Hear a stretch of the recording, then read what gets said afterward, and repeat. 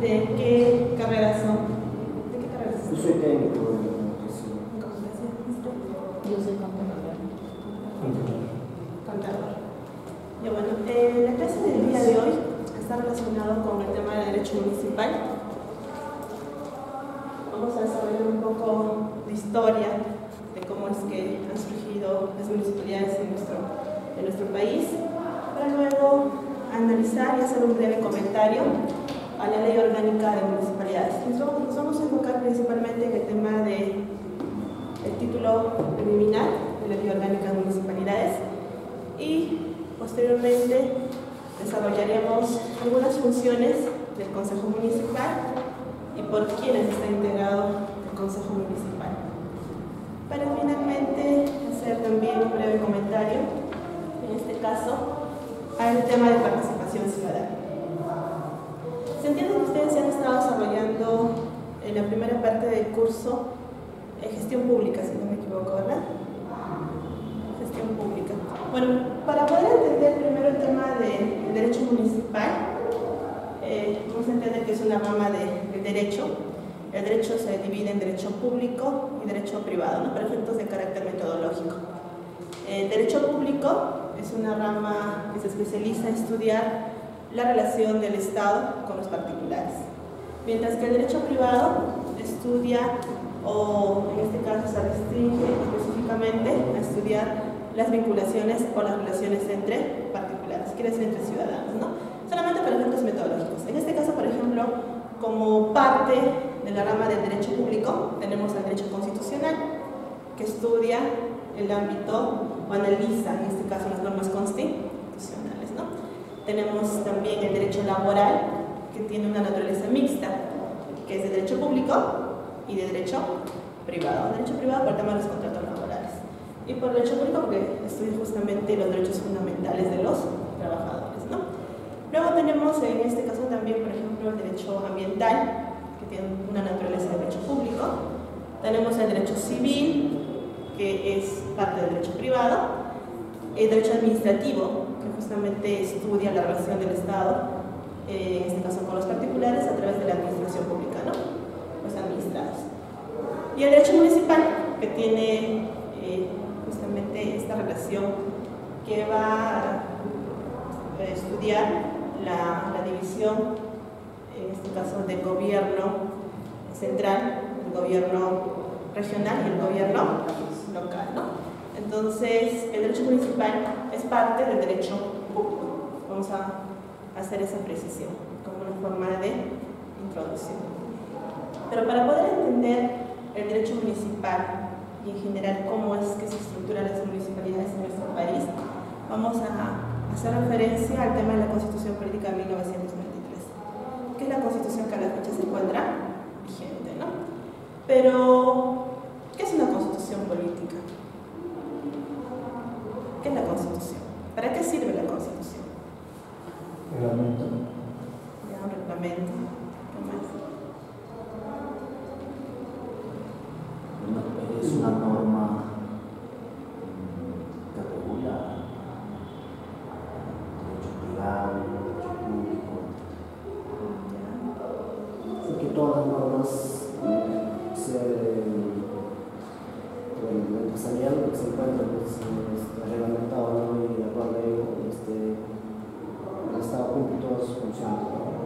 Sí, eh, vamos a entender por la Constitución como la norma fundamental o la norma base, ¿no?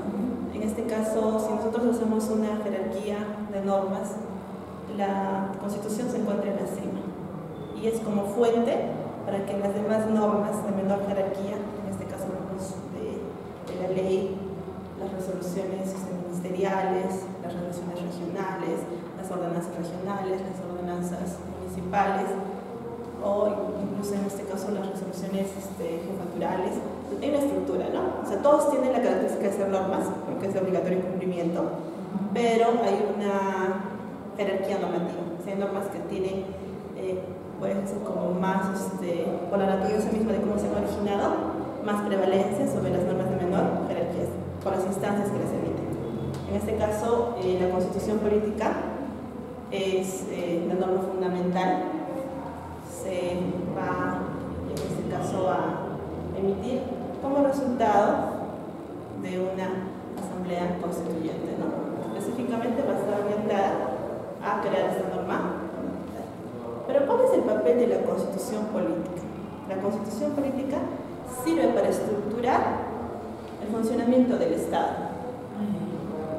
En la constitución, absolutamente, eh, está en todos los artículos señalado no solamente los poderes que tiene el Estado, sino cómo esos poderes van a tener un conjunto de limitan las atribuciones de cada poder del Estado. Luego reconoce todos los derechos que tienen los ciudadanos.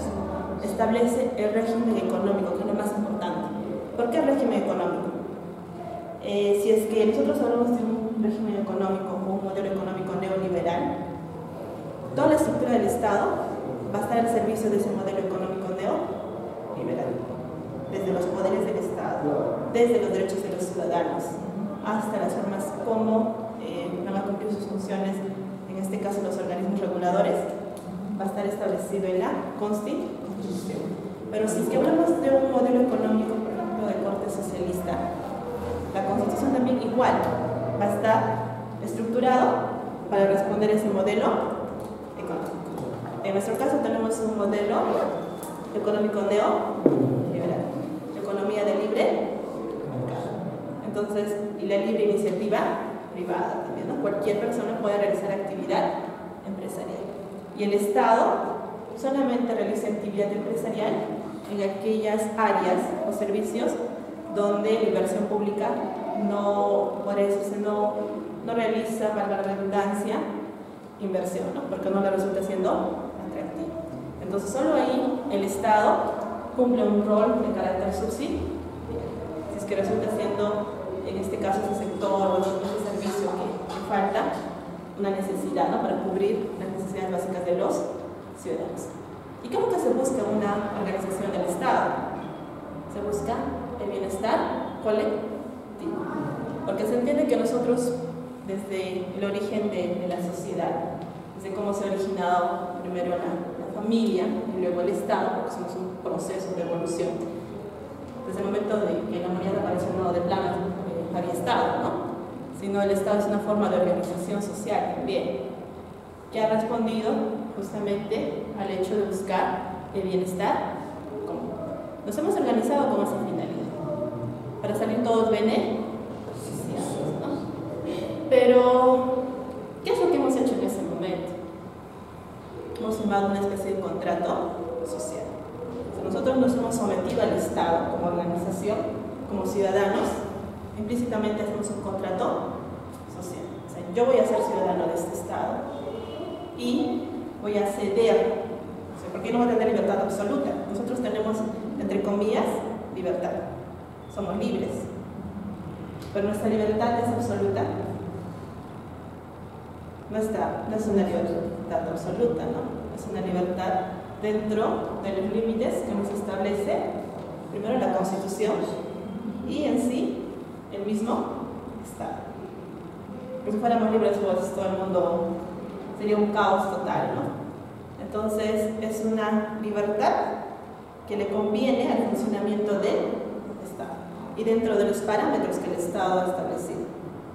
Y eso responde también al modelo o al régimen económico nuestras libertades como un país neoliberal son muy distintos a un país que tiene un modelo económico comunista o social.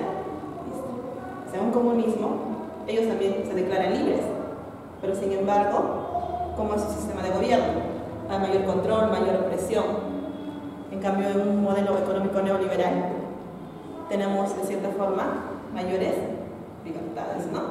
Entonces, y en un modelo, por ejemplo, en este caso, un país de Medio Oriente.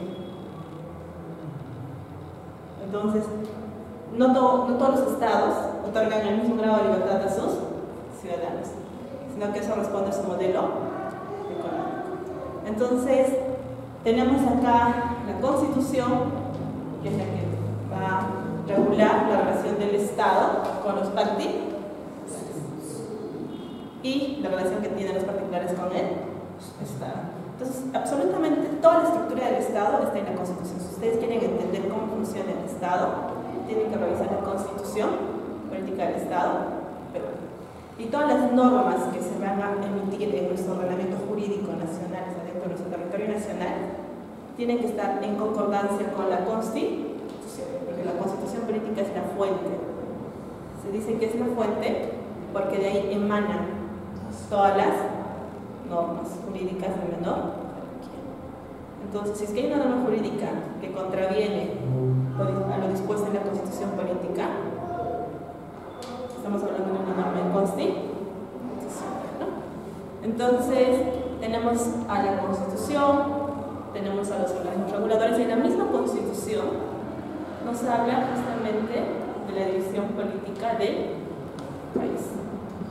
Entonces, ahí hablamos de un gobierno central, un gobierno regional y un gobierno local.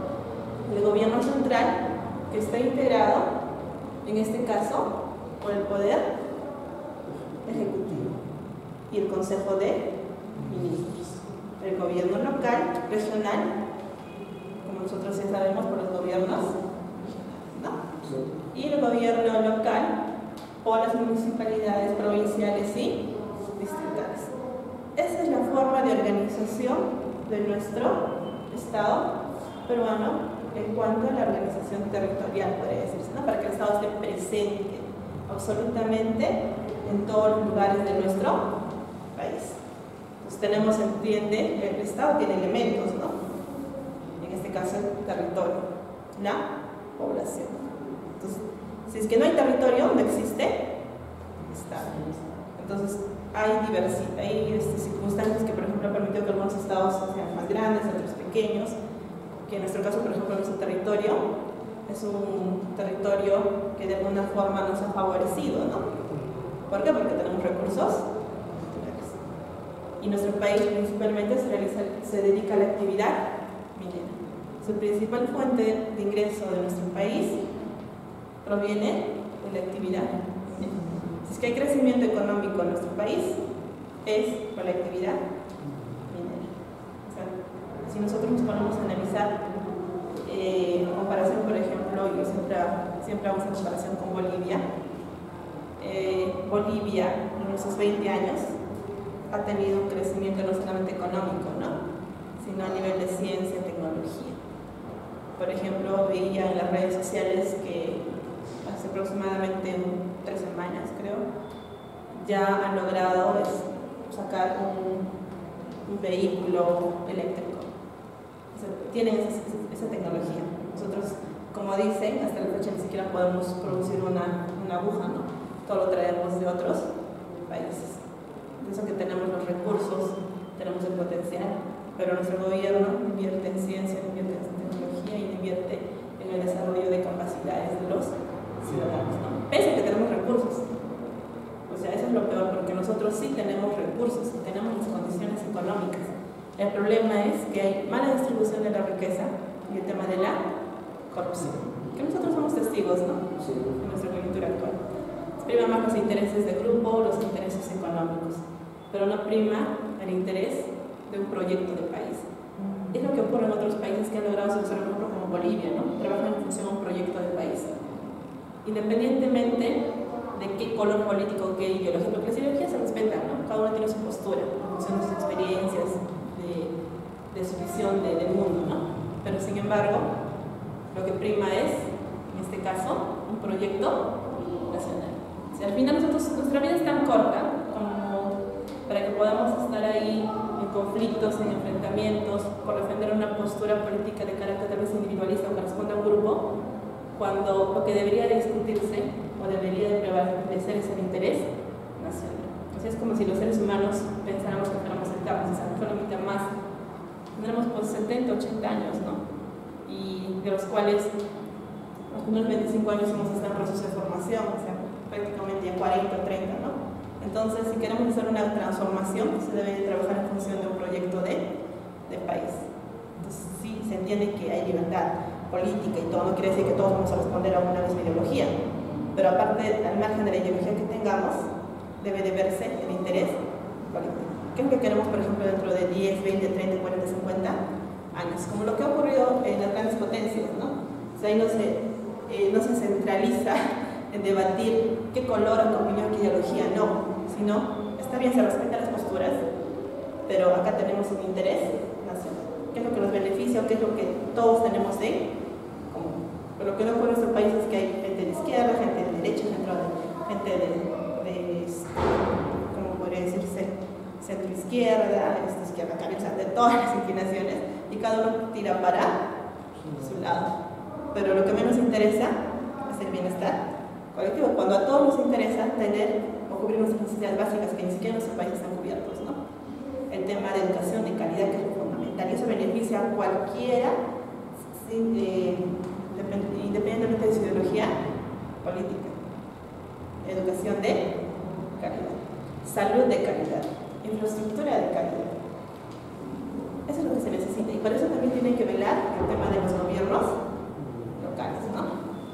Entonces, por ahí viene el tema de que necesariamente tenemos que ver la forma, no sé en qué momento se dará, que nuestro país, si bien existen eh, planes o políticas que el Estado implementa, pero sin embargo esas políticas no son continuadas, ¿no? O sea, más prevalece el interés de grupo. Eso es lo que prevalece en nuestro país. También tiene que ver mucho el tema de cómo es que funciona nuestro modelo nuestro sistema electoral. ¿Qué es lo que ocurre? Nuestro sistema electoral permite de que los partidos o los movimientos políticos puedan ser financiados por personas eh, privadas, personas jurídicas, personas privadas, que decir cualquiera de nosotros, o personas jurídicas, ¿no? Entonces quiere decir que, por ejemplo, si yo estoy en campaña, puedo recibir financiamiento. Generalmente los que están en campaña reciben financiamiento de las empresas que tienen posibilidades económicas cuando llegan al poder, es que por ejemplo yo salgo electa, ¿qué es lo que voy a hacer? No voy a enfocarme en realizar una gestión de calidad durante el periodo de mi mandato, sino voy a estar más preocupada en tratar de devolver los favores económicos, porque ellos no me van a dar o no me van a ayudar a financiar toda mi campaña de forma gratuita, porque de plano yo voy a tener que reconocer con la adjudicación de algunas obras, la inversión que ellos han realizado en mi campaña. Y las campañas en nuestro país, a lo menos ustedes han sido testigos en la última campaña al gobierno regional municipal, pese que ya había salido los medios de comunicación los actos de corrupción, cómo es que han sido bastante ostentosas, ¿no? sobre todo en esta región. Todo el mundo con sus banderolas, todas las cosas con sus banderas, eh, cantidad de vehículos con los logos de los movimientos políticos o partidos políticos, eh, cuando había los mítines, grandes estrados, cantantes famosos, todo un conjunto de implementos, ¿no? Entonces, mínimamente, ¿cuánto han gastado en cada campaña? Y llegan al gobierno, en este caso regional o local, y lo que el Estado te paga, ¿cuánto es? O sea, todo lo que vas a ganar durante el periodo gobierno alcanza para pagar todo lo que se invertido en tu campaña. Es por ahí que surge el tema de la corrupción.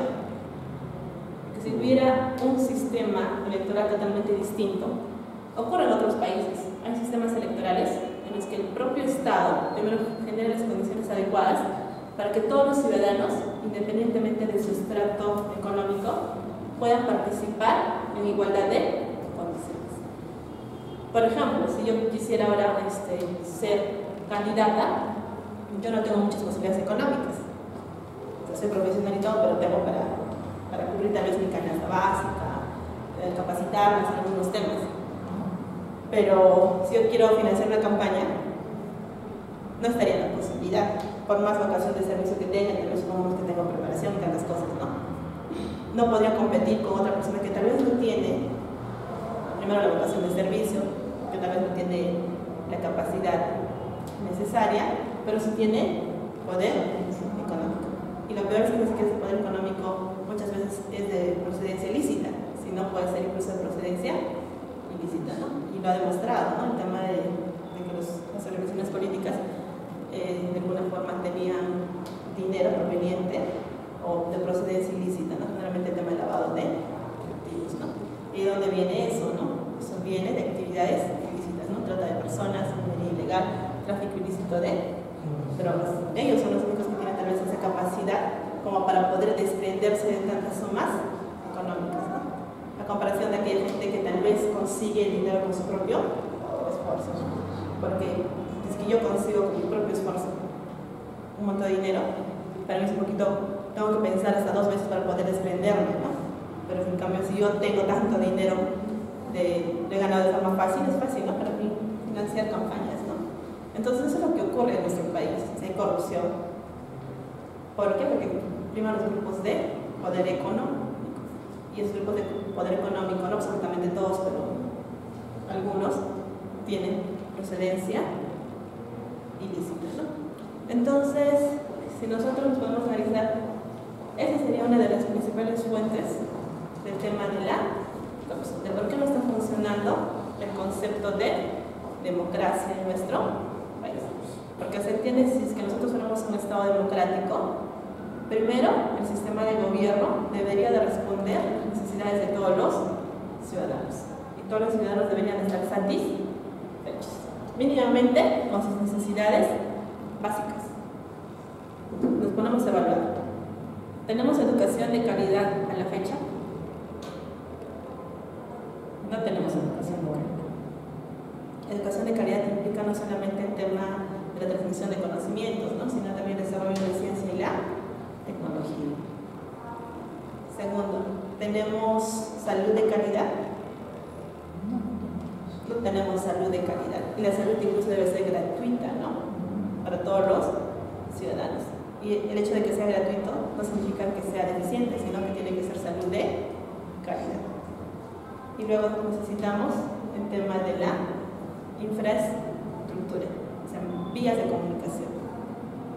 Y en ese tema de vías de comunicación está también considerado, por ejemplo, a la fecha. No solamente, la infraestructura no solamente incluye el tema de los servicios básicos, también la construcción de carreteras, ¿no? que son una forma de poder comunicarse y también generar actos de comercio. ¿no? Y el otro tema que a veces este, resulta siendo un poco este, casi imposible, ¿no? El tema de la seguridad social. Quiere decir que los ciudadanos puedan gozar de pensiones dignas. Por ejemplo, cuando se van a este, jubilar, ¿no? Pues haber prestado servicios ya sea una entidad privada o una entidad pública, ¿no? O sea, mínimamente eso es lo que se debe de garantizar, eso es como lo, lo fundamental, los derechos fundamentales, ¿no?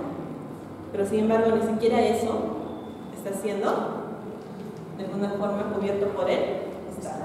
El Estado no les preocupa educación porque resulta que la educación no, no van a ver, podría decirse, en el momento tal vez ese tema de, como lo que ocurre con el, tema de infraestructura, ¿no? si yo adjudico obras, el Estado desembolsa fuertes sumas de dinero y eso implica que es más fácil también que se puedan realizar actos de corrupción a mí me conviene hacer carreteras, hacer puentes, hacer colegios, hacer este, hospitales.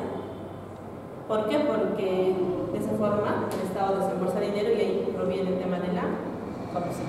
Mientras que la educación es algo a largo plazo, es una inversión que sí va a repercutir, pero en cada ciudad, ¿no? O sea, no es un tema inmediato, porque por ejemplo en, una gestión yo puedo construir tanta, tanta infraestructura es más fácil que el Estado pueda realizar una inversión, pero ahí también es un medio de corrupción.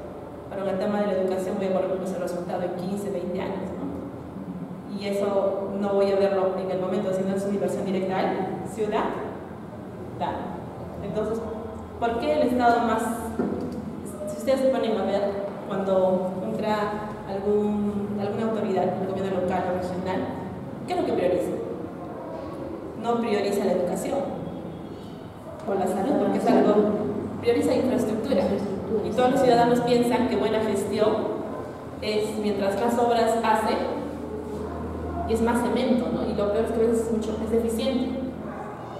O sea, en carreteras, si nosotros fuéramos un país que tiene gobernantes responsables, de infraestructura, las pistas, por ejemplo, tendrían una duración, pues, o una proyección de 50, 70 años, no de 5, 3, 2 años, ¿no?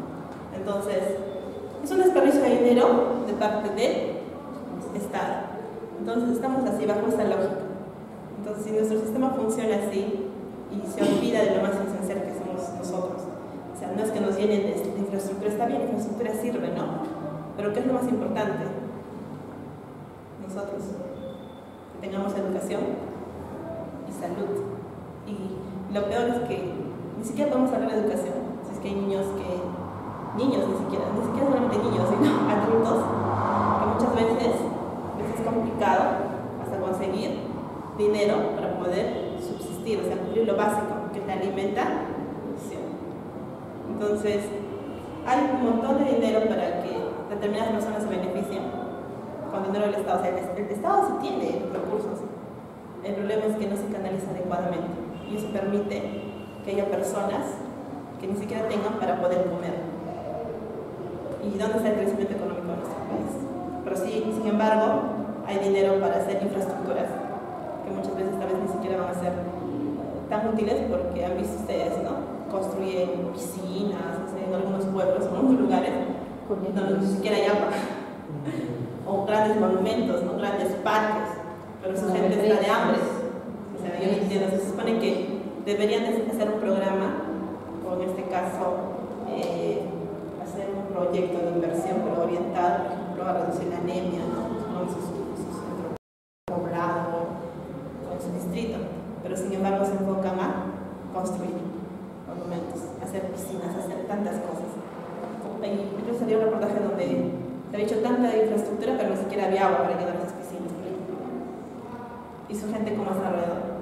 Pero no le conviene invertir en esto, por ejemplo, cómo superar la anemia, pero sí le conviene infraestructura porque es más fácil para que pueda sacar su porce. Entonces vemos ahí que hay vocación de servicio, vemos ahí ejercicio de la ciudadanía responsable, porque se entiende que un gobernante debe ser un ciudadano empoderado, un ciudadano responsable que tenga vocación de servicio, buscando el bienestar común, ¿no? Entonces nosotros ponemos a pensar de cómo está funcionando nuestro país, al final llegamos a la conclusión de que priman los intereses personales. Pero eso hace daño también, ¿no? ¿Por qué? Porque esos intereses personales solo benefician a un determinado pero si uno, si nuestro país invirtiera más en educación, tal vez tendríamos ciudadanos más conscientes.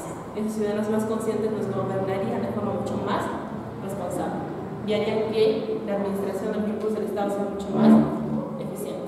Si nosotros administramos en forma eficiente los recursos y se hace el tema de la transparencia de todos los recursos, como en otros países desarrollados, en los países este, del norte de Europa, por ejemplo, donde hay casi pocos índices de corrupción, es el tema de la transparencia. Absolutamente toda la información de cómo se gasta el dinero del Estado es de acceso público. Eso es muchísimo más transparente. Y existe también el tema de los ciudadanos responsables. ¿Por qué? Porque su propia formación no les permite o no conciben realizar un acto de corrupción. Pero en nuestro país la corrupción es el pan de cada y lo hemos normalizado.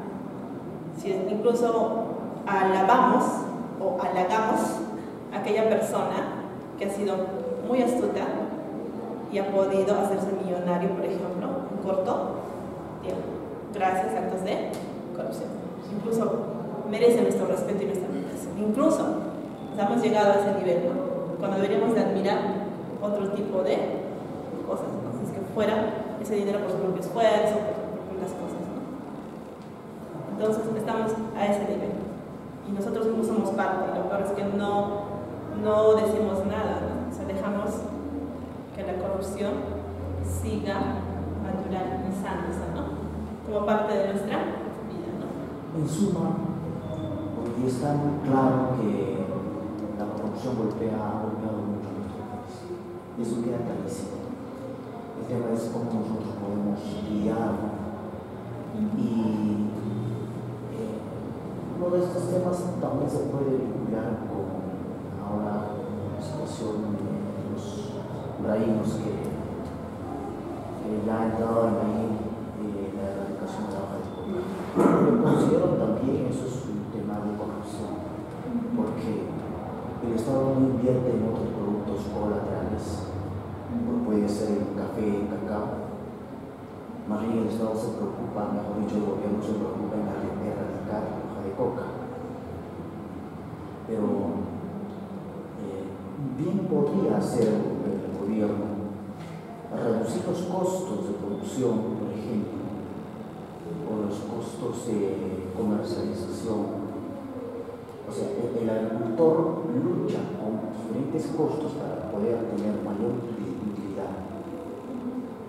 Pero frente a la hoja de coca, estos productos, el café y el cacao es muy bajo. O sea, eh, muy bajo en, en, en, los precios. Los costos son elevados y el precio es muy bajo. Pero eh, el gobierno se preocupa en eliminar la hoja Pero ¿qué pasaría si el gobierno reduciría estos costos, digamos, eh, implementando plantas procesadoras de café o de cacao allá en Ibrahim, estaría reduciendo los costos. Y el gobierno mismo se, en su papel, ¿no? Eh, reduciría también los costos de comercialización. Yo sé que el agricultor se preocuparía más producir café y cacao que producir coca.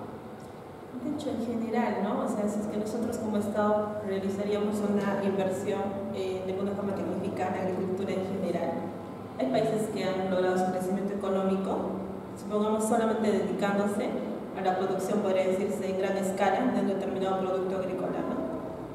Por ejemplo, hay países que solo exportan flores, por ejemplo, ¿no? Y son primera potencia en ese todos sus recursos, otros que solamente se dedican al tema de la carne, cosas así pero en nuestro país es que trabajamos de forma, este, como todos lo señalaron, no es un proyecto de país. Si no entra un gobierno de turno, implementa un conjunto de políticas. Si entra otro gobierno, implementa otro conjunto de políticas. Pero no se centraliza en lo básico. O sea, nosotros hemos confiado en el tema de los recursos naturales que tenemos como consecuencia de la minería. Es nuestra, nuestra base, nuestro cimiento de, de podría decirse, de, de recursos, captación de recursos. Y hemos descuidado otros sectores, ¿no? Entonces, en este caso, por ejemplo, se radica la hoja de coca, ¿por qué? Porque es una política no solamente nacional, sino también es una política internacional.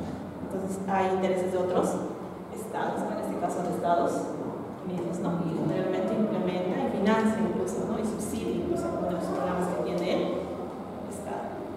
Entonces, necesariamente, primero se tendría, como tú dices, realizar un tema de, de cultivo alternativo pero ese cultivo alternativo. Sostenible. Sí, el tema de sostenible en el tiempo, ¿no? es que igual, igual hay también el tema de corrupción, ¿no? Eh, a veces de lo que por ejemplo debería llegar 100.000, al final llega como 10.000, ¿no? Como 50.000 se ven consultorías, otros 30.000 en pago de personal, unos 10.000 en temas de corrupción, o sea, algunos temas así que compra algunas cosas y al final llega, o sea, en el camino, al destinatario final, llega pues el 10%, ¿no? Y no se puede hacer una transformación cuando lo hacen generalmente solo por cumplir, ¿no? Se toman fotografías, se regalan algunas plantas, o sea, no se está atacando el fondo de, de la solución, es algo más estructurado. Y eso también es cuestión de personas, o sea, tal vez el Estado tiene la voluntad eh, a través, no, no el gobernante, sino en este caso se han implementado políticas públicas o planes de desarrollo incluso, ¿no? En determinadas áreas, ¿no? Pero al final, ¿quiénes son los que canalizan todo eso?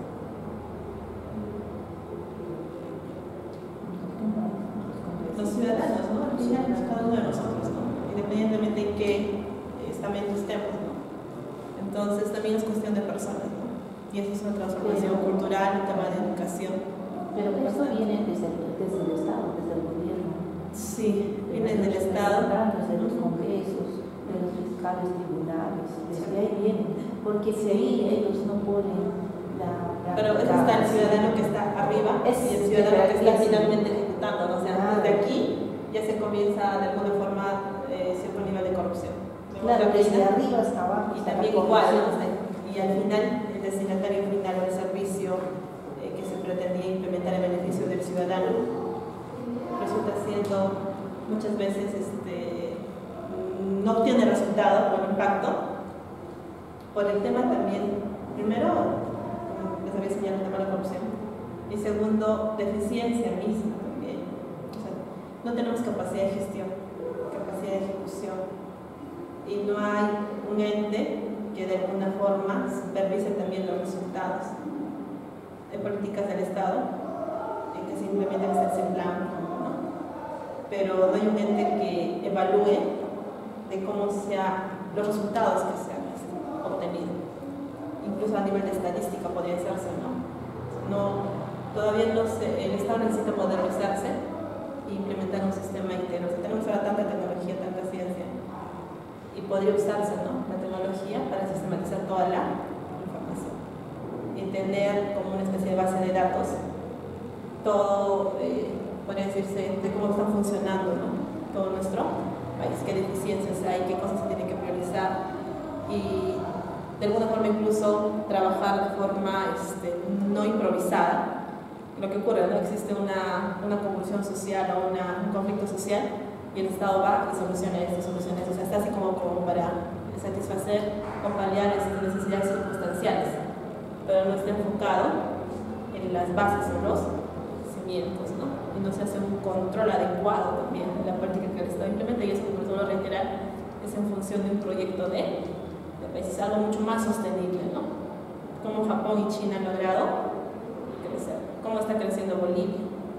O sea, ellos tienen un plan, un proyecto, algo así como nosotros, ¿no? Tenemos un proyecto, independientemente de lo que nos pueda pasar, estamos ahí centrados en un proyecto, independientemente de las circunstancias que nos pasen, ¿no? Pero en nuestro caso, entre el gobernante, implementa un conjunto de políticas que responden a intereses de grupo, ingresa el siguiente gobernante y no le, no le da secuencialidad a la política que se ha implementado. ¿no? Entonces, eso, eso genera desorden, genera caos, genera eh, el desperdicio de recursos del Estado. Y también somos responsables los propios ciudadanos por qué. Pero de alguna forma se podría justificar por qué, porque tampoco el Estado ha invertido en educación. No, es una transformación total que necesitamos, es un tema de llamado de conciencia, tantas cosas, ¿no? Conciencia ciudadana, empoderamiento de derechos ciudadanos también. Nosotros muchas veces, los que tenemos a veces acceso a la educación, conocemos ¿no? nuestros derechos, nuestro rol como ciudadano, pero la gente de a pie, los que no han tenido tal vez este acceso a la educación superior, o las cosas han logrado terminar su educación secundaria, la primaria, otros que no han accedido, ni siquiera saben cuál es, no han logrado interiorizar cuál es su rol como ciudad. Es por eso que existe, por ejemplo, el tema de la compra de votos. Compra de votos. yo te vendo mi voto, ¿no? es lo a veces. En los lugares un poco alejados. El candidato va, les ofrece comida el día de las elecciones, les ofrece trasladarse de su pueblo, de su comunidad a un local de votación. Y como ciudadano, si yo fuera un ciudadano responsable, vería hasta como una ofensa que pretenda comprar mi voto, ¿no? porque es mi ejercicio, mi autonomía, es, mi dignidad, ¿no? mi, impacto, mi, aporte de alguna forma a la decisión de, política de mi país, supongamos, ¿no? de quiénes van a ser los representantes. ¿no? Pero sin embargo, que, que me compre mi voto ¿Cómo lo permito? O sea, ¿por qué lo estoy permitiendo? Lo curioso es que siempre caemos en eso. Y eso es año tras año, ¿no? Y no solamente ahí, sino como el nuevo general, Los financiamientos o las grandes campañas. O sea, nosotros, por ejemplo, nos dejamos llevar incluso, ¿no? Sabemos, consideramos que capacidad de gestión que tal vez podría tener un candidato, e incluso este, en este caso facultades y habilidades para llegar a gobernar, lo relacionamos con que puede tener una campaña ostentosa. Por ejemplo, vemos a una persona que sí es capaz, pero que no realiza una inversión fuerte. Incluso lo vemos o incluso lo llegamos a, como a menospreciar, ¿no? Podemos ver como incluso inepto que no nos da cierta seguridad o garantía de que puede llegar a realizar una buena gestión, una buena administración. Y es muy poco. Acá también, disculpe porque corte, doctora, Acá también vivo mucho en los profesionales que prestan servicio en, todo esto, ¿no? Gobiernos regionales, locales, hasta en el Estado mismo. Porque los profesionales realmente se prestan a eso. Ahora ya no hay ética profesional, ahora hay derecho profesional de negocio. Sí, por eso les decía que prima el interés personal, cuando Claro, al final tenemos que entender cuando prima el interés colectivo, todos nos beneficiamos. Claro. Y el impacto es mucho más grande incluso, ¿no? Para nuestros hijos, para las futuras generaciones. Pero incluso al ser o primar nuestros intereses particulares, solo estamos como siendo muy utilitaristas. Estamos pensando solo en el momento, en el goce, en el beneficio de este presente, ¿no? Y no estamos pensando en nuestra futura generación. Al final nosotros vamos a tener hijos, nietos, ¿no? Entonces, ¿qué le vamos a ofrecer nosotros a nuestros hijos y a nuestros nietos? ¿Y qué estamos enseñando a ¿Y ellos? qué estamos enseñando? O sea, al final va a seguir, todo el mundo va a seguir siendo individualista. Nunca se va a ver el tema del bienestar común. Porque el bienestar común nos beneficia a todos al final. Esa es la idea, ¿no? No entonces, eh, tal y como estamos a la fecha, bueno, esperaremos que, pero yo veo unos cuantos años, seguimos en lo mismo, ¿no? Desde que tengo uso de que comencé a dar cuenta, los 14, 15 años. Entonces, pasa como 20 años, ¿no? Y seguimos en lo mismo. Más carencias, problemas de corrupción, eh, deficiencias en educación. Y me a pensar cuánto tendrá que pasar para que nuestro país, de alguna forma, en primer lugar, pueda erradicar la pobreza. Eso es lo básico, ¿no? Y lo peor y la impotencia da cuando sí hay recursos. O sea, justificaría que haya gente que no pueda, al menos, cubrir su alimentación diaria, siempre y cuando si el Estado no tuviera recursos, pero los Estados tienen recursos. No es posible que, por ejemplo, no puedas tener salud, que no todos accedan a salud. Entonces, eso es lo que preocupa, ¿no? Y, y se mantiene eso, gobierno das, gobierno Gobierno. y eso es lo que- y a veces Cada vez más. Entonces, ese es el tema, ¿no? Entonces yo pienso que si es que trabajáramos o todo el mundo podría más priorizar el tema de un proyecto de país, que yo considero que sería como la salida, sería un, los resultados serían tal vez mucho más medibles en el tiempo, ¿no? Podríamos hacer una transformación también. Como lo hace, a mí me parece, no sé cómo será la realidad de Bolivia, pero por lo que veo desde afuera, me parece que de cierta forma han logrado bastante este, avances ¿no? en el tema de tecnología, en las condiciones de vida de sus habitantes. ¿no? Incluso ha renegociado algunos contratos mineros, donde el Estado resulta siendo más beneficiado, ¿no? a comparación de nuestro país, que la empresa privada resulta siendo más beneficiada. Prácticamente el 80% de las utilidades de la actividad minera se la lleva la empresa privada y el 20% nada más queda en nuestro país. Pero en Bolivia es al revés. El 80% queda para el Estado y el 20% va para la. Pero a pesar de eso resulta siendo rentable para la empresa. Entonces, es por eso que hay inversión privada también allá. No, el no, no es que el Estado haya, este, podría decirse, nacionalizado todas las empresas, no. Sigue, sigue realizando esa actividad empresarial, pero ha renegociado. Y en esa renegociación, a pesar de que se ha generado, señalado esa condición que les precisaba, resultaba siendo incluso atractivo para la empresa, tenía utilidades. No es que se niega la, la- la empresa, o sea, la empresa es una fuente de trabajo. Gracias a las empresas hay personas, o la mayoría de la población está empleada también, ¿no? Porque el Estado no cubre todo. Entonces, gracias a la empresa hay puestos de trabajo. Entonces, no podemos decir, no, empresas, Sí, no, no. Más reglamentado. Sí, las empresas de la actividad de inversión privada, eh, las empresas en sus distintas modalidades, sí son beneficiosas para el crecimiento económico de nuestro país.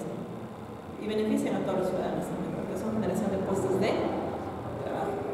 A comparación, este, pero eso también, es que no hubiera empresas, no habría movimiento incluso sol- solamente habría un monopolio del propio Estado, ¿no? Entonces eso sería en determinado momento permitiría que el mismo Estado tal vez, primero porque el Estado no es actividad empresarial, porque también tema de corrupción. Eso es lo que ha fracasado, ¿no? En nuestro país, el Estado tenía sus empresas eh, públicas, podría decirse, ¿no? Pero ¿por qué se han cerrado? Porque al final han decidido privatizarlas. Por la corrupción también, porque no había utilidades, ¿no? había una mala administración. Entonces, eh, la empresa sí hace bien, pero muchas veces a veces se sataniza, ¿no? Dicen, no, los empresarios eh, son los enemigos del pueblo, por ejemplo, ¿no? No, no son los enemigos del pueblo, generan cosas de trabajo, ¿no? Y son personas que a veces, muchas veces, este, con su esfuerzo propio logran realizar ese tipo de actividades, ¿no? Sirven, pero se tiene que regular también. Se regula en el sentido de asegurar los beneficios laborales de sus trabajadores. Eh, bueno, entonces, como introducción tenemos que la Constitución fija el régimen económico, fija cómo se estructura el Estado. Entonces, ¿qué es lo que busca el Estado? Busca el bienestar, la satisfacción de necesidades de los ciudadanos. Y es lo mismo que va, va a buscar en este caso los gobiernos locales a través de las municipalidades provinciales y las municipalidades distritales. ¿no? Entonces son niveles de gobierno, el gobierno central, el gobierno regional. Según la política nacional de modernización del Estado, con miras hacia el 2021, el Estado está articulando o prioriza tres ejes fundamentales. ¿no? El tema del gobierno electrónico, el gobierno abierto y la articulación interinstitucional en los tres niveles de gobierno, desde el gobierno central, el gobierno regional y el gobierno local, porque al final los tres deben de trabajar en forma coordinada. Si es que no hay un trabajo coordinado entre estos tres niveles de gobierno, los resultados son catastróficos, ¿no? Y a veces es lo que ocurre en nuestra realidad, porque en el gobierno de turno está un determinado partido político, como se va a señalar, siempre se responde a intereses de carácter particular, tenemos en el gobierno regional otro movimiento político y en el gobierno distrital tenemos otro movimiento político. Pero al momento que llega a designarse nuestro representante en esos estamentos del gobierno, tiene que desprenderse de sus intereses de carácter partidario y preocuparse por los intereses de nuestro país, porque para eso se les ha designado, ¿no? Pero ¿qué es lo que ocurre en nuestro país? Cada uno de alguna forma trata de sacar el poder de agua para su molino. ¿no? El gobierno central trata de, de alguna forma, primero este, devolver los favores económicos, colocar a, las personas que han participado activamente en los procesos de campaña en los puestos clave y va a tratar de centralizar la mayor cantidad de obras. De acuerdo, muchas veces que ni siquiera responden a los intereses del gobierno el gobierno regional igual va a tratar de, de alguna forma, este, primero, lo que hemos dicho, ¿no? devolver los favores económicos. Segundo, tal vez asegurar la continuidad de su gobierno. Si es que no es él, eh, tal vez a otra persona que ya está pensando que lo va a reemplazar y va, finalmente va a servir a sus propios intereses, o volver a reelegirse, ¿no? Es por eso que, por ejemplo, cuando se inauguran obras se ponen los nombres, ¿no? Eso no debería permitirse porque es dinero del Estado, no es dinero de él. Si ustedes ven, este colegio inaugurado por tal persona. Pero eso... Puente realizado en tal persona. Incluso puentes con colores, ¿no? Disculpe, pero creo que eso incluso está penado. ¿no? No está penado, ¿no? Sino, pero debería de regularse. No sí, está regulado entonces. Porque solo siguen permitiendo que todas las este, ¿no? O sea, lo ideal sería, eso no está penado. Incluso se usan los colores de los mismos este, partidos para pintar, por ejemplo, cuando se hacen parques, cuando se hacen los deportivos, ¿no? Es diferente que en el momento de campañas, sí, ¿no? O sea, cuando estamos en un periodo electoral, yo puedo tener injerencia, eh, por ejemplo, auspiciar o financiar, ¿no? pero cuando yo ya estoy en el poder, o sea, no está penado. ¿no? O sea, éticamente sí hay una especie de pacto, acuerdo, pero no. O sea, ¿cómo podría controlarse cuando usa, por ejemplo, determinados colores? Y tú has visto hasta la fecha, cuando se hace determinada obra, se ponen ¿no? los colores del partido, del movimiento, cuando estamos avanzando, o cosas así, ¿no? Entonces, ahí debe decirse gobierno regional de Ayacucho, estamos así, pero instancia que somos, ¿no? pero no este, nombre del, que está en el gobierno y diga. ¿no? Entonces, ¿qué es lo que está buscando? Que el mensaje que está mandando es de que lo recuerden por su gestión para pretender posteriormente volver. ¿no? Ahora está prohibido la revolución inmediata, pero en una un posterior, de forma alternada, se puede dejar pasar un periodo, puede volver. ¿no? Entonces, ahí por ejemplo, si es que tú mínimamente como ciudadano entiendes que estás en ese cargo y es dinero del Estado, ¿por qué tendrías que de alguna forma estar usando esos recursos para intereses de carácter, tal vez partidario, incluso nacional? O sea, desde ahí y es imposible que se pueda articular esfuerzos. No sé si ustedes, o sea, es como, como algo este, utópico, ¿no? que se puedan sentar el, gobierno central, el gobierno regional y el gobierno distrital y concertar conjuntamente la ejecución de una política pública. Cada uno sale agua para su, bueno, es como si trabajara en una isla aparte y esa no es la finalidad. la misma constitución dice que debe haber eh, el Estado sanitario. Entonces, si es que también se ha establecido en la política nacional, hasta el 2021, el tema de la articulación interinstitucional. Esto implica que todas las instituciones de los distintos niveles del Estado van a trabajar en forma coordinada para optimizar los recursos del Estado. Pero si cada uno trabaja por su lado, por ejemplo, el gobierno regional, eh, supongamos en los programas de lucha contra la violencia mujer, implementa sus propias campañas, el gobierno distrital sus propias campañas al final vemos que se duplican esfuerzos en vano. Cuando podrían articular y realizar actividades de mayor trascendencia, ¿no? o incluso economizar los recursos del propio Estado. Realizar la misma actividad con menos recursos, porque al final si es que se realiza la misma actividad y con distintos recursos, se suma, ¿no? Al final hay que salir perdiendo el resultado el impacto es el mismo. Entonces, el Estado lo que está buscando el Plan Nacional, en este caso de modernización de la gestión pública, les voy a reiterar, es el tema del gobierno. El gobierno electrónico implica que todos los niveles de gobierno puedan aprender o usar las nuevas tecnologías de la información para mejorar sus procesos. Primero sus procesos internos, ¿no? Quiere decir, por ejemplo, la creación de ventanillas electrónicas, la digitalización de los documentos, la sistematización de la información, usar la tecnología. Si, por ejemplo, nosotros eh, queremos dar un servicio de calidad a nuestros usuarios, porque la moderna tendencia del Estado es de que el Estado tenga que brindar un servicio de calidad al ciudadano. Antes el Estado era como un ente burocrático, ¿no? totalmente ajeno a la ciudad, totalmente ajeno a las necesidades de la ciudadanía. Pero a la fecha se busca que el Estado esté vinculado directamente con el ciudadano y pueda darle una atención de calidad. Entonces, si usamos el tema del gobierno electrónico, tendríamos instituciones, incluso hay instituciones, ¿no? Casi todas las instituciones han implementado sus portales y eso permite que el ciudadano pueda conocer qué actividades está realizando esta institución.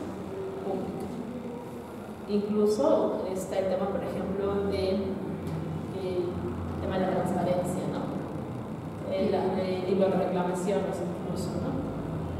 Y otros que han implementado mejores procesos tienen el tema de la ventanilla electrónica, ¿no? yo puedo presentar mi documento escaneado tal vez me van a responder en un plazo razonable, ¿no? Tal vez me van a notificar a mi correo la respuesta del documento que yo he presentado. Y lo que no ocurre en varias instituciones, siguen todavía manejando los libros manuales, ¿no? Cuando ya estamos en una era digital, siguen manejando sus libros de distribución de documentos, ¿no? Con sellos. ¿Y cuánto tiempo? se pierde? Al final, eso también es dinero del Estado, costo-beneficio. Al final, si yo invierto en tecnología, puedo realizar ese, ese, mismo resultado, mejor resultado todavía, con menos dinero, ¿no?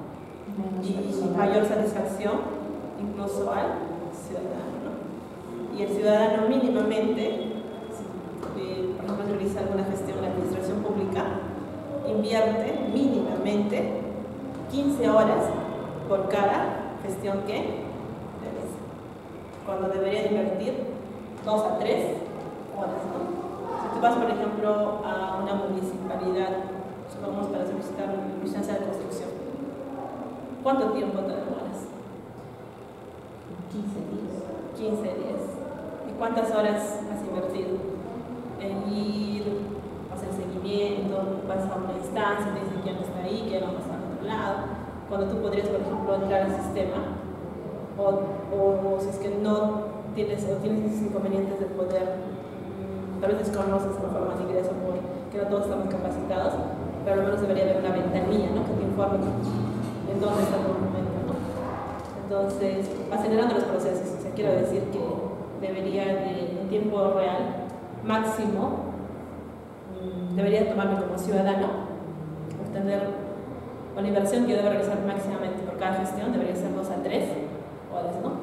Presento mi documento, una hora supongamos, otra hora para hacer seguimiento y otra hora para coger el resultado. Pero no 15 a 20 horas, ¿no? Lo que ocurre en nuestro país es hasta más, ¿no? Vas a una institución y la deficiencia de siempre, ¿no? Pues a mí me pasa. Cuando voy a un lugar, salvo algunos, algunas instituciones que tienen todo sistematizado, ¿no? Pero la mayoría, tú vas y te dicen, no, se ha derivado a tal instancia. Vas ahí y te hacen esperar como una hora para que busquen en su libro y te digan finalmente dónde lo han derivado, a quién le han entregado.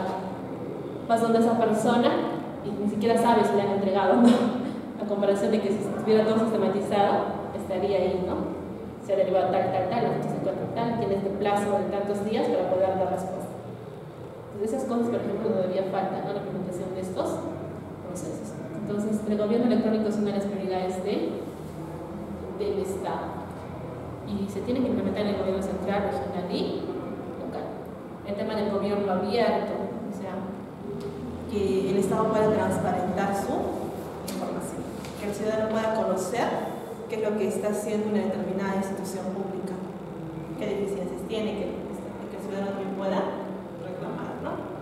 Entonces, el gobierno abierto está relacionado con la mayor apertura del Estado a transparentar su información. Y la articulación interinstitucional, que les había ya señalado como ejemplo, que los distintos niveles de gobierno puedan trabajar en forma activa bueno, ahora vamos a hablar sobre el tema específico de, de la, las municipalidades. Tenemos todo un proceso histórico, pero vamos a tratar ya, para que ustedes lo puedan profundizar, vamos a dejar esta materia porque sea más de carácter histórico y el tiempo tal vez no nos va, no nos va a alcanzar. ¿Cuánto tiempo ya ha pasado? ¿Cuánto tiempo hemos iniciado la clase? Ya una hora. 10, 40 días. Es 40. Una hora. Una hora, ¿no? Bueno, vamos a.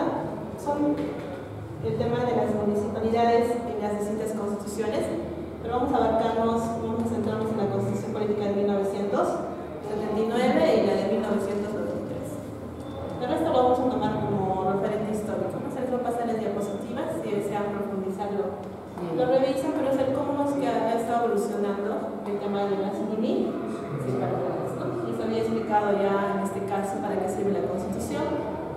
Y en la misma Constitución está establecido los niveles de gobierno, las funciones del Estado.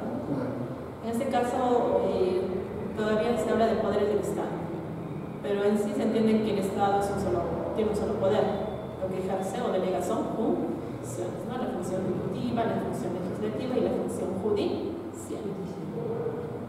Entonces tenemos acá las competencias de las municipalidades, en este caso todavía en 1892. Acá nos habla, por ejemplo, su competencia en temas de mercados, cámaras y ferias, inspección de pesas y agua y desagüe, abastecimiento público, electricidad, alumbrado público, eh, tránsito, reglamentación y vigilancia, salud pública, prevención contra incendios, promoción de, bomberos. Luego tenemos ahí un conjunto de leyes que se han estado dando. Son tres periodos de, de evolución, o sea, dividido en tres periodos el tema de la evolución de las municipalidades. Pero luego tenemos lo que nos interesa, que es la Constitución Política de 1979 y la Constitución Política de 1993, que son los más inmediatos, ¿no? Pero tenemos acá, por ejemplo, este, que mediante la ley número 14669 de las elecciones municipales del 15 de diciembre de 1963, durante el gobierno de Fernando de Terry, se realizaron las elecciones en todo el país. Lo importante trascendental es que en esas elecciones han participado hombres y mujeres. En el año de 1960, se puede decir que es la primera elección en la que participan hombres y mujeres eh, encargaba las elecciones al Jurado Nacional de Elecciones, esas son las principales innovaciones. Se dispone de elegir un Consejo Municipal Provincial en cada provincia y un Consejo Municipal Distrital en cada distrito, con excepción de los distritos que fueren a su vez capital de provincia. Se determinó el voto secreto. O sea, antes de esos procesos de comicios electorales, incluso las primeras formas de cómo se elegían los representantes era de forma pública. Se no había el voto secreto. ¿no? Entonces acá se determina eh, que, el voto secreto y obligatorio hasta la edad de los 60 años y facultativo para los mayores de esa edad. Eh, se impuso el uso de la cédula única de votación, la renovación de los consejos municipales será cada tres años, se estableció la fecha de elecciones municipales el segundo domingo del mes de noviembre del año anterior, la instalación de los consejos municipales el día 1 de enero del año siguiente. Acá que ese sistema que se implementó en el gobierno de Fernando Belaúnde Terry en las elecciones municipales del 15 de diciembre de 1963 es el que se está manteniendo todavía hasta la fecha. Tenemos acá, este, por ejemplo, el sistema del segundo domingo del mes de noviembre. Generalmente por estas fechas se realizan las elecciones municipales y las elecciones regionales. A comparación de las elecciones presidenciales, generalmente se realizan en el primer, eh, en el mes de abril, en el mes de marzo, abril, mayo, ¿no? dependiendo de, cómo va la coyuntura. En el caso este, de las elecciones municipales y regionales, va por esas fechas, ¿no? siempre noviembre, fines de octubre. ¿no? El tema del uso de la tinta indeleble, ¿no? que a la fecha ya no se usa. ¿no? Incluso para las elecciones anteriores se llegaron a usar ¿no? la tinta indeleble para poder este, evitar que se duplique la, votación, pero incluso ya era inútil su utilización porque teníamos eh, sistematizado, ejemplo, el tema de, las firmas del padrón electoral y era casi imposible que se pueda suplantar. ¿no? Luego tenemos el golpe militar de 1968, el tercer periodo el municipio en el, en el constitucionalismo social, en la constitución de 1900 les había dicho que la Constitución es la norma fundamental, en la Constitución se estructura el funcionamiento de un país. Y también en la misma Constitución se reconoce de cómo se va a organizar el Estado y cuáles van a ser los derechos que van a tener los ciudadanos. Entonces tenemos la Constitución de 1973, que de alguna forma podría decirse que tenía una economía con rostro mucho más humano, ¿no? A diferencia de nuestro modelo económico de 1993, que tiene un modelo económico neoliberal. Entonces, en la Constitución Política de 1979 se habla, decir que es una constitución que de alguna forma garantiza más el ejercicio este, o la plena vigencia, no solamente de derechos fundamentales, sino también eh, la mayor participación ciudadana y el Estado también garantiza más los derechos fundamentales de los ciudadanos y tiene un ente mucho más participativo, activo en la economía nacional. Se sentaron las bases del Estado político moderno, se establece la descentralización mediante gobiernos locales y regionales. ¿no? Se otorga nueva denominación a las municipalidades, órganos del gobierno local. Se reconoce autonomía económica y administrativa. porque anteriormente dependían directamente del gobierno.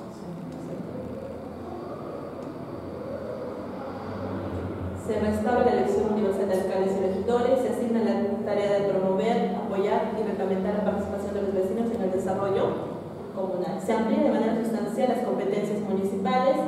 A la Municipalidad de Lima Metropolitana se le otorga un régimen jurídico especial que todavía sigue manteniendo hasta la fecha, porque el gobierno, o en este caso la Municipalidad Metropolitana de Lima, a la vez que es municipalidad eh, de carácter provincial, resulta siendo también gobierno regional. Eh, contenía una visión tecnocrática, eh, se limita las funciones de regidores a efectuar estudios con una propuesta y reglamentar servicios. Luego tenemos la ley orgánica de municipalidades que nosotros vamos a estudiar, la ley número 23.853. Se le encarga la prestación de servicios públicos locales, eh, promotor del bienestar de la población y el desarrollo integral de su circunscripción, ejercer la representación democrática, promueve la participación ciudadana a través de las juntas de vecinos, establece dos tipos de entidades locales, una con capacidad gubernativa y otras sin esas facultades. Se le otorga autonomía económica, administra, administra sus propios recursos y también tiene la facultad de contraer préstamos y crear tributos. Entonces, acá tenemos que en el contexto de la Constitución Política de 1979 se da la Ley Orgánica de Municipalidades.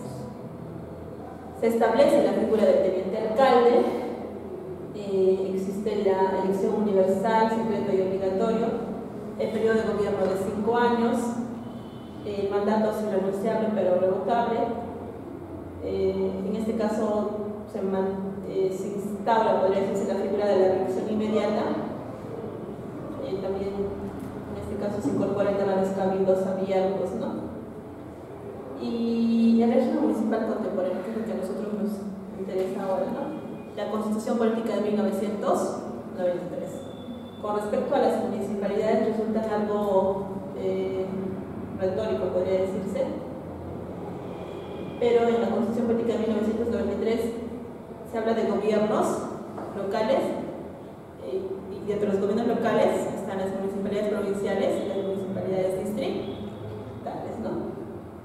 se reducen competencias como las relaciones con la regulación de transporte y circulación. Mm, se crea el fondo común. Eh, la Constitución de 1979 ha diseñado un modelo de organización estatal descentralizada administrativamente y políticamente. La Constitución de 1993 postula un modelo estatal descentralizado en lo administrativo, pero altamente centralizado en lo, en tenemos acá la ley de bases de la descentralización que también nos interesa como un intento de parte del gobierno, de alguna forma de poder realizar una gestión eficiente de los recursos a través de la descentralización. Nosotros sabemos ¿no? el tema de la centralización, todos los inconvenientes que genera, ya que no responde a las necesidades de los intereses nacionales, ¿no? porque se entiende que lo más idóneo para el desarrollo de un país es de que una región, un departamento pueda tener no solamente la independencia económica administrativa, sino incluso pueda autosostenerse, que tenga los recursos necesarios para poder, mm, frente a una, un desastre natural, poder mantener toda su estructura funcionando sin necesidad de la intervención de otras regiones. ¿no? Pero ¿qué es lo que ocurre en nuestro país? Es que existiera, por ejemplo, un desastre natural, muchas eh, provincias del interior del país quedarían totalmente aisladas porque no tienen la capacidad de autosostenerse, que dependen directamente del gobierno. Entonces, la idea de la regionalización es de que cada región pueda eh, montar, podría una estructura que le permita auto cubrir sus necesidades básicas, tener la capacidad de decisión en el tema político, económico y administrativo. Esa es la idea, ¿no? Pero estamos, a la fecha todavía se sigue manteniendo el tema de la centra las normas y la ley orgánica de la municipalidad, la ley número 27972, vamos a ver el tema del título. El artículo 1 de la ley 29792 nos dice lo siguiente, ¿no? Nos habla de los gobiernos locales. Entendemos por los gobiernos locales a, las municipalidades provinciales a las distritales. ¿Qué nos dice?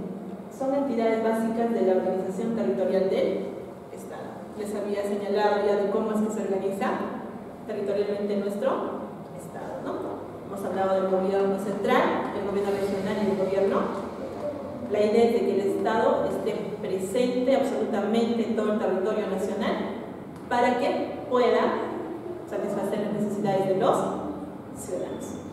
¿Cuál es la función del gobierno distrital? Buscar el bienestar colectivo o el bienestar común y satisfacer las necesidades del ciudadano. O sea, el Estado tiene que estar presente. Si el Estado solamente se centralizara en el gobierno central, no estaría presente a lo largo de todo el territorio entonces, por eso se dice que los gobiernos locales son entidades básicas de la organización territorial del Estado. Cuando se habla de una municipalidad distrital, es el Estado que está presente, ¿no? Y es parte del poder ejecutivo. Canales inmediatos de participación vecinal en los asuntos públicos. Es la inmediatez. no va a ser, por ejemplo, yo estoy en la municipalidad distrital de Carmen Alto, supongamos, ¿no?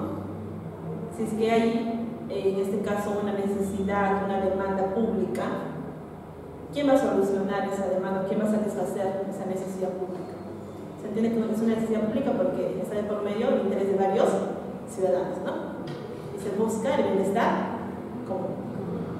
Yo no voy a ir directamente al gobierno central, sino que el Estado está presente a través de la Municipalidad Distrital de Carmen y quién es el inmediato a resolver o satisfacer esa demanda.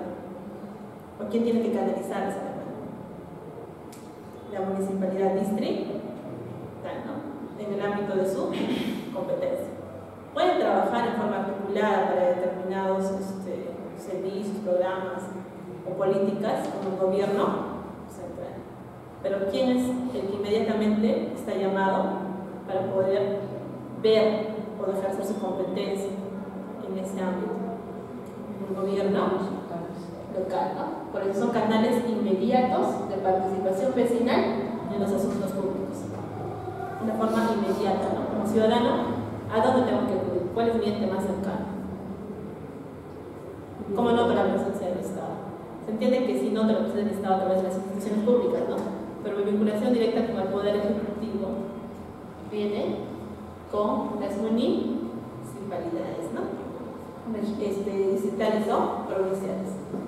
Está constituido por territorio, población y organización. Habíamos hablado ya del tema de los elementos del Estado. Y se entiende que las municipalidades también son parte. Entonces, ¿qué necesita una municipalidad? Necesita territorio. El tema de la competencia territorial de una municipalidad, porque eso también está delimitado, ¿no? Por la demarcación territorial. O sea, no todas las municipalidades son competentes de todos lados, sino solamente un determinado espacio llamado territorio, ¿no? En función de la demarcación territorial. El tema de la población y mínimamente organización en la misma municipalidad. De cómo es que Primero, la municipalidad se va a organizar y cuáles van a ser los canales de atención con relación con el ciudadano. El tema del órgano de gobierno, los gobiernos locales, es un órgano de gobierno, el gobierno local, ¿no? Hemos señalado el gobierno central, el gobierno regional y el gobierno. Promotores del desarrollo local. ¿Quiénes van a promover el desarrollo local? No es competencia del gobierno central, ¿no? o del Consejo de Ministros. Sí lo van a canalizar, pero ¿quién es el que va a dar a conocer la necesidad de determinada actividad para promover el desarrollo local? Son los gobiernos locales. Ellos van a canalizar.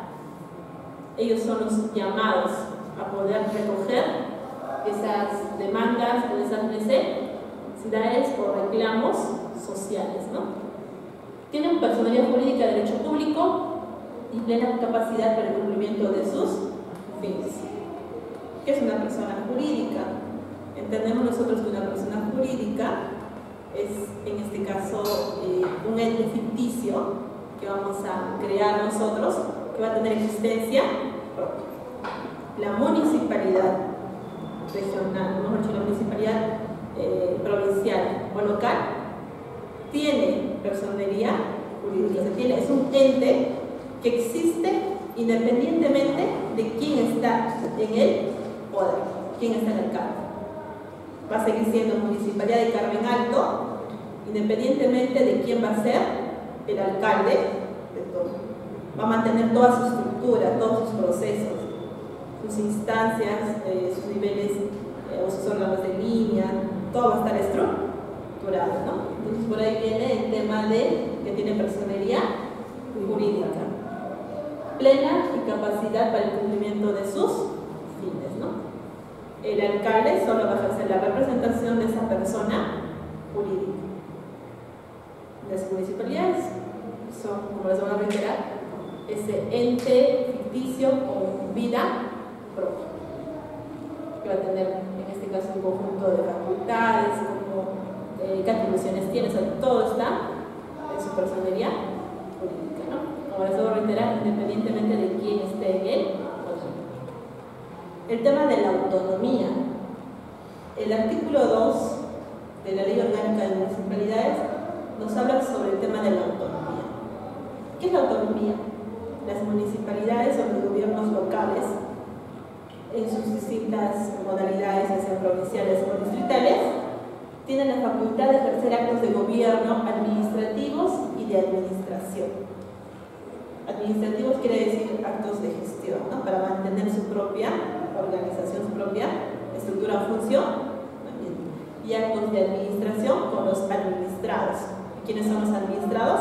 Somos todos nosotros, los ciudadanos, que vamos a acudir al Estado esperando una respuesta ¿no? de parte del algún reclamo, algún trámite, alguna gestión y el Estado nos tiene que responder. Los administrados somos nosotros. Y la administración pública son las distintas instituciones del Estado. Entonces tenemos que las municipalidades, en este caso les voy a los gobiernos locales, tienen autonomía administrativa, autonomía política y autonomía Y nosotros lo vemos, ¿no? recaudan sus propios fondos a través de los tributos, algunos arbitrios, en función de su texto único ordenado de procedimientos administrativos, que tiene que estar en el TUPA. Tiene autonomía administrativa, su máximo, en este caso, representante es el alcalde municipal o el el alcalde provincial o el alcalde distrital, ¿no? y tiene también autonomía política en función a cómo van a satisfacer las necesidades de los ciudadanos, ¿no? las políticas que van a implementar para poder tal vez este, obtener mejores resultados en su gestión. ¿no? Entonces, cada uno, cada municipalidad, cada gobierno local tiene estas tres, esta autonomía, ¿no? autonomía administrativa, política y económica tiene que trabajar de forma articulada con el gobierno central, pero sin embargo tiene su plena autonomía. ¿no? Eh, el origen se origina en la respectiva demarcación ¿Cómo se origina eh, una municipalidad distrital o una municipalidad provincial? Y en un primer momento, el tema de los centros este, poblados, ¿no?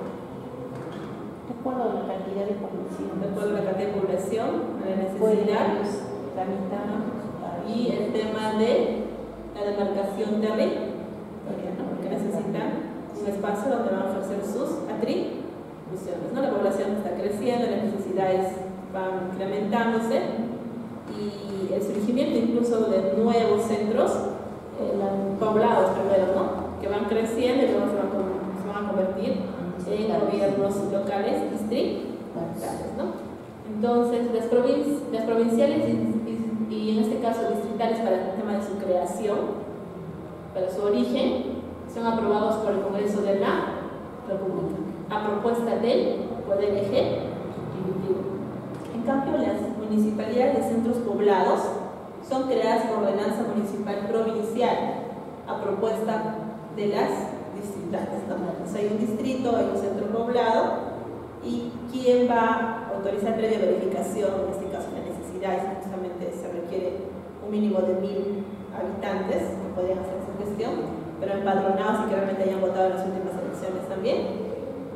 Se va a hacer el tema de la creación de los centros poblados, ¿no? Y eh, son creados por ordenanza. Las autoridades, eh, que emanan, las autoridades emanan de la voluntad popular, conforme a la ley electoral correspondiente. Primero, pues, cuando hablamos de origen, estamos mencionando cómo se crean las municipalidades provinciales y las distritales y los de centros poblados. Pero también hablamos de cómo se origina el tema de la elección de las autoridades, ¿no? ¿Cómo se origina la, elección de las autoridades? A través de la voluntad el ejercicio democrático de, nuestra, de nuestro voto, ¿no? Entonces, conforme a la ley electoral correspondiente. ¿Cuál es la finalidad los gobiernos locales. Representar el vecindario, promover la adecuada prestación de los servicios públicos locales, lo que ya les había señalado. ¿no? ¿Por qué representa el vecindario? Nos representa absolutamente a todos los ciudadanos, ¿no? somos parte de un gobierno distrital o un gobierno, en este caso eh, una municipalidad provincial. Si nosotros tenemos necesidades insatisfechas, por ejemplo, no tenemos agua o desagüe, o necesitamos la construcción de un puente, de una carretera, o de un colegio, de un hospital, ¿quién es el llamado a poder eh, representarnos?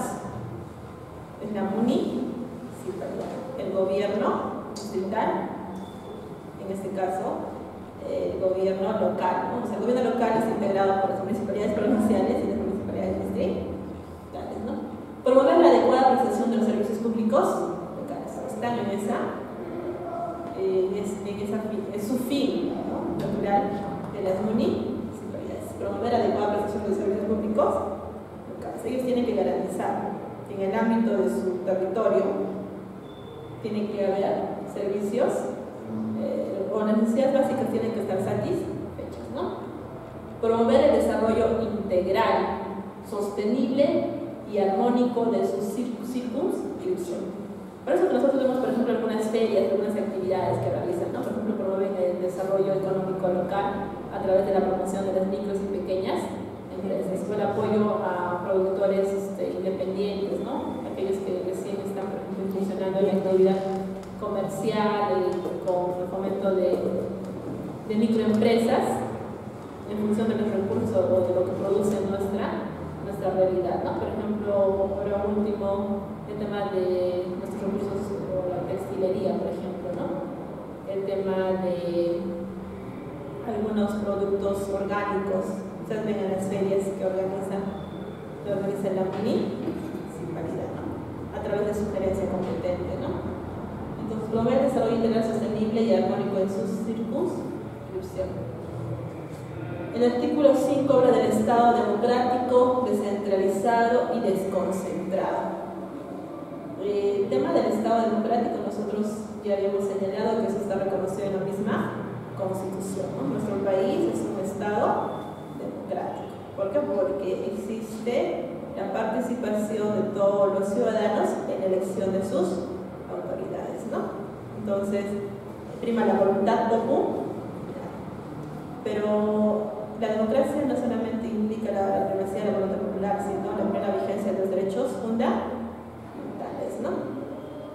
y habíamos nosotros también señalado de que existe el tema de la descentralización y la desconcentración. La descentralización es, en este caso, la división territorial, la autonomía que se le va a otorgar. Pero la desconcentración es no solamente que se le otorgue este, la autonomía en cuanto al tema administrativo, sino que se le deleguen todos los recursos también, para que desconcentrar recursos, porque podemos tener descentralización eh, en cuanto a la designación de autoridades y competencias, pero todo el recurso lo centraliza el gobierno. Lo que se busca es que todos los recursos puedan ser desconcentrados, como les había señalado, lograr de que cada región pueda autosostener. Eso sería lo ideal, ¿no? Que con mi producción interna, como región, yo pueda autosostener.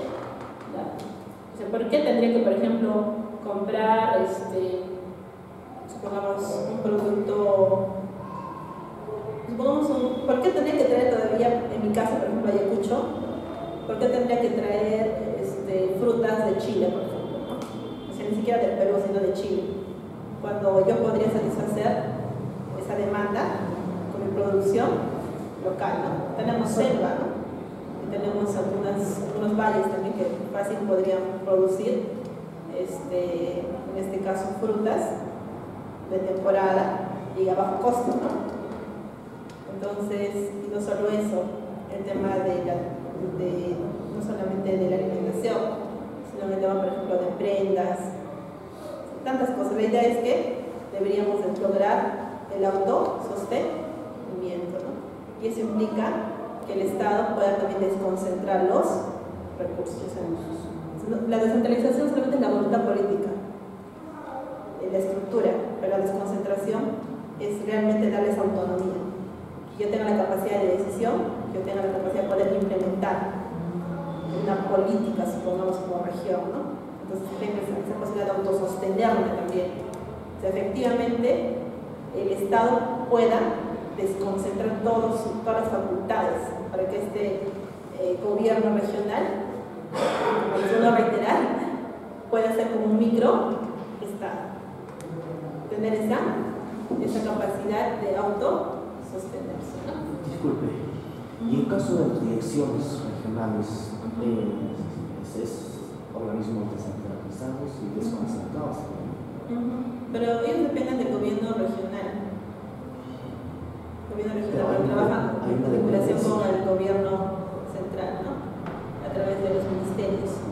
Por eso ahí viene el tema de la articulación interinstitucional. Pero lo ideal sería que cada, o sea, lo más efectivo sería, como ocurre con otros estados autónomos de otros países, que yo tenga el presupuesto y ya no dependa del MINSA, sino que como región voy a implementar mis propias políticas en temas de salud de acuerdo a las necesidades, porque no todas las necesidades que el MINSA implementa lo hace de forma general, o sea, como un parámetro mejor para todo el Perú, pero cada región tiene sus propias necesidades, sus propios tipos, por ejemplo, de enfermedades que responden a su, propia, propio clima, tantas cosas, ¿no?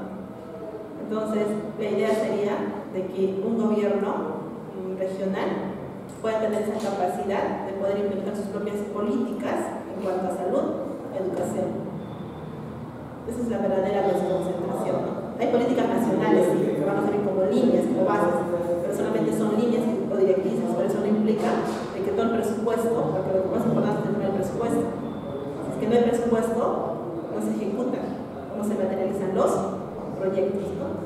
Entonces, es de que cada región pueda tener su propia autonomía, sea, la capacidad de poder, y concordancia se entiende que todos somos una unidad, tiene que haber políticas nacionales, pueda implementar sus propias prioridades. Incluso hay por ejemplo, en México, que tienen incluso su, propio, su propia normativa en cuanto al tema, tienen su propia autonomía de tal forma que tiene su propio código civil, por ejemplo. Cada, cada estado autónomo tiene su propio código civil, porque responde a su propia realidad, a su propia necesidad. ¿Me entiendes? Pero tiene que estar en concordancia con las políticas las líneas bases como Estado. Pero en este caso dependen económicamente, en todo caso, las elecciones. Depende, hay dependencia. Es que todavía no se ha esa es la, lo ideal sería eso, pero nuestro país todavía no, en nuestro país todo está centralizado. Incluso, por ejemplo, el Ministerio Público, acá solamente como una oficina administrativa. Tiene los fiscales, tiene todo, pero depende económicamente de la Fiscalía de la Nación, que está en Lima. tiene que mandarle, si quiero un lapicero tengo que gestionar, me tiene que mandar un papel, lapiceros, cuando yo puedo comprar eso acá en mi región, promover el desarrollo regional, porque tal vez puedo promover el desarrollo de las micros y pequeñas empresas. Pero si es que todavía sigue centralizado, ¿quiénes son los beneficiarios? Las empresas de Lima y no se promueve el desarrollo local. A comparación, como te vuelvo a señalar, en Estados Unidos, por ejemplo, tienen ese, el tema de la plena autonomía de los estados. O sea, cada estado es independiente económica, política y administrativamente, ¿no? O sea, tiene sus propios recursos. En cambio nosotros, si es que hay una crisis de, Estado o gobierno central, va a tener la producción directa con los gobiernos regionales y locales, porque estamos dependiendo, seguimos en el tema del centralismo. Entonces, lo que se busca es la, la verdadera regionalización, como les vuelvo a señalar, es de que esta región pueda ser autosostenible. Pero nosotros a la fecha no somos autosostenibles. Verduras de Huancayo. Eh, productos de primera necesidad procesados de la costa. Eh, frutas de la costa. O sea, ni siquiera eso que tenemos selva, ¿no? se debería priorizarse la alimentación también en base a los alimentos estacionales. O sea, todo se produce en un ahorro bastante ¿no? en, las, en la canasta básica familiar. ¿no? Si por ejemplo hubiera producción o de alguna forma sería la difusión del consumo local, podríamos promover de que también las microempresas puedan fortalecerse en nuestra región. O sea, yo no entiendo por qué tenemos que traer o preferimos comer o consumir, por ejemplo, manzanas de Chile, peras de Chile, naranjas de Chile, uvas de Chile, plátanos de Chile absolutamente todos tenemos una selva y podemos a bajo costo alimentarnos con esos productos. Independientemente de ya de que cada uno pueda tener sus preferencias, ¿no? porque estamos en una economía de libre mercado, pero sin embargo deberíamos satisfacer o debería de cubrirse la producción, las necesidades de nuestra población y promover y fortalecer el consumo local. Y eso sirve para poder reducir costos también, ¿no? finalmente mejora también la calidad de vida, ¿no? No solamente la calidad de vida, sino genera nuevas oportunidades de trabajo, nuevas empresas, nuevo momento económico. Ese es el tema de la regionalización, ¿no? A veces, muchas veces, este, mm, cuando alguien habla de regionalización, cuando propone el amor y la valoración a lo nuestro, eh, los, los, los señala como si fueran este, comunistas o que están orientados más a otro tipo de ideología de carácter socialista. No es así, ¿no? Lo que se busca es el desarrollo, el autosostenibilidad. Y el tema también de, que tiene que ver con el, el tema de el desarrollo sostenible, que es un concepto que también ingresa por ahí, ¿no? Entonces tenemos eh, una estructura, las municipalidades tienen una estructura para su funcionamiento, tienen una mínima de, una mínima de organización y también se establece sus funciones específicas, porque ahí tenemos en la ley orgánica de municipalidades las funciones de la alcaldía, las funciones del alcalde,